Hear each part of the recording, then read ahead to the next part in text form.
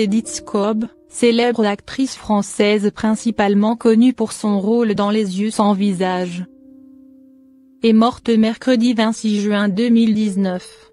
Edith Scob, sœur Thérèse.com, est décédée à l'âge de 81 ans. Elle avait 81 ans. C'est son agent qui a transmis la triste nouvelle à l'AFP.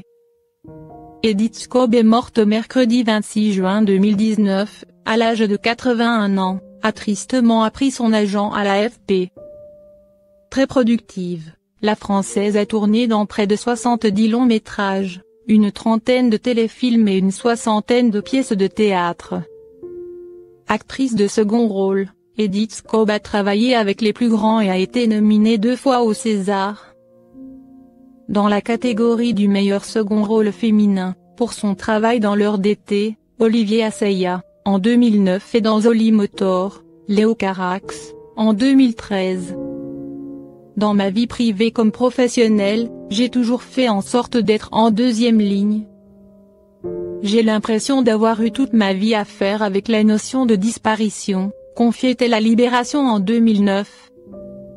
Née Edith Vladimirovna Skobeltsine le 21 octobre 1937 à Paris, cette jolie jeune femme d'origine russe commence à la fin des années 50 dans la figuration. Jusqu'à ce qu'elle soit repérée par Georges Franju.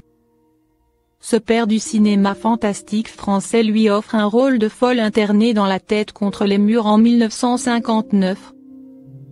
Avant de lui proposer le film qui va bouleverser sa carrière, Les yeux sans visage.